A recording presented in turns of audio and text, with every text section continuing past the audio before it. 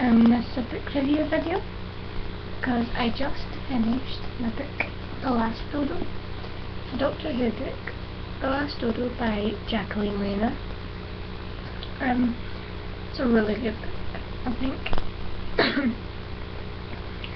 um, I would probably overall give it a 8 or 9 out of 10.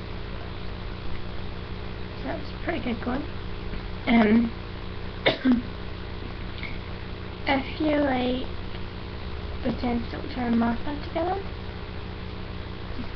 then I recommend this for you, or if you like um, dinosaurs and extinct creatures and things like that. Or just gen or just generally if you like Doctor Who, then I recommend this to you. Um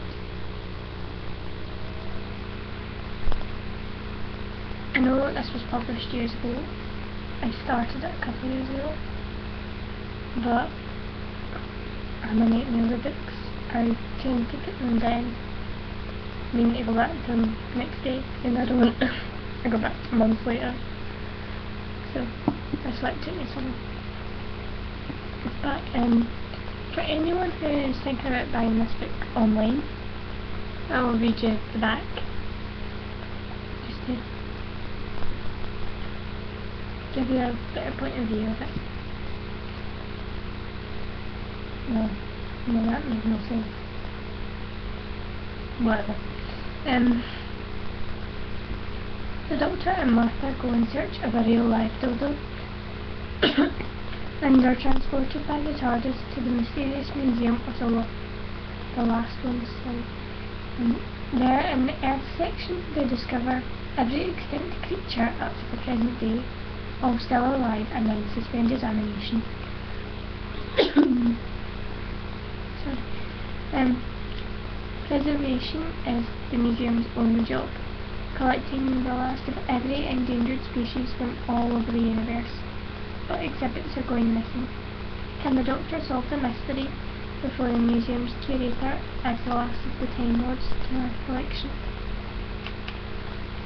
It's a really good um, yeah, it's pretty good. Um, like it says in the title, there's, there's this one dodo going throughout, throughout the book, so you better get used to it.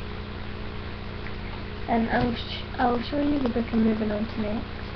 A really popular book and the multi-million worldwide better All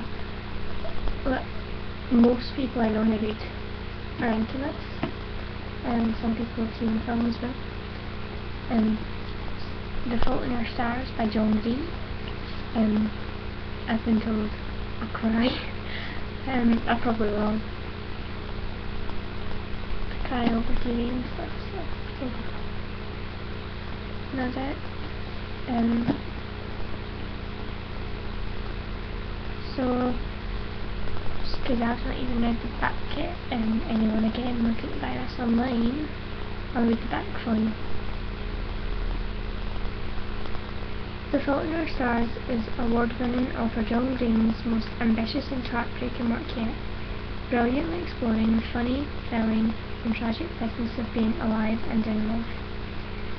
Despite the tumour shrinking medical miracle that has brought her a few years, Hazel has never been anything but terminal. Her final chapter inscribed upon diagnosis, but when a gorgeous plot twist named Augustus Waters suddenly appears at Cancer Kid Support Group, Hazel's story is about to be completely rewritten. Oh so yeah. Um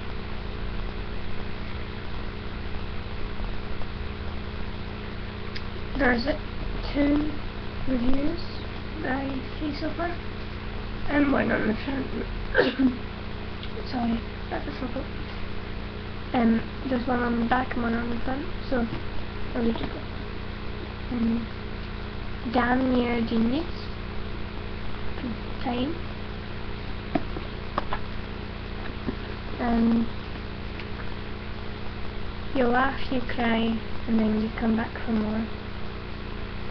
That's from Markus Zusak, best-selling author of the book. Okay. So yeah, got moving on to so got my bookmarks up. I used to skip a little. I still love my old ones. This is my original unique one.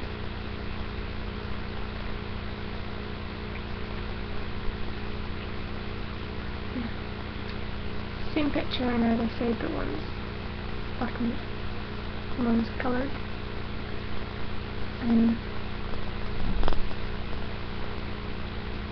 so I'll just pop that right here. right at the front there. And my other one is best friend in the works for a. It does have a wee thing on the top. But not anymore. Um, you get different ones. This is the Metallica one. It's all Roald Dahl books. Um, so it says Roald Dahl on the top. And, Matilda on the back. And on the front there's Matilda sitting with. A strange bow.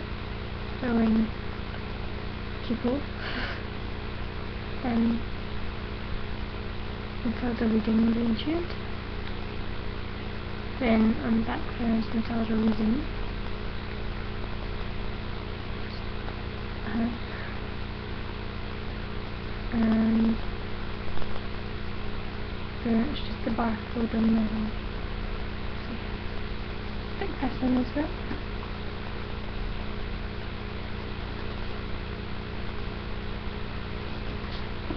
Can't wait to get started.